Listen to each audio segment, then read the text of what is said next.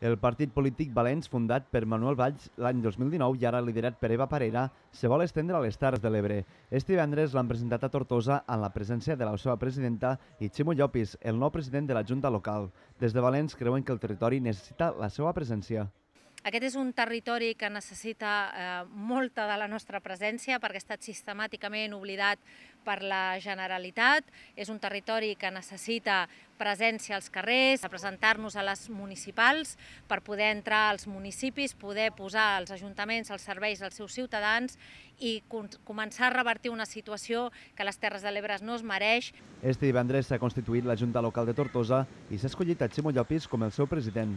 Jo estic segur de que Valens feia falta a Tortosa, Valens feia falta a Barcelona, Valens feia falta a Catalunya i que Valens formarà un grup de persones humanes en ganes de treballar, en ganes d'esforçar-se i en ganes de canviar Catalunya que molta falta li fa. Valens intentarà fer-se un lloc a les pròximes eleccions municipals del 2023. Des del Partit Conservador posen el focus en la seguretat dels carrers i en la creació de llocs de treball.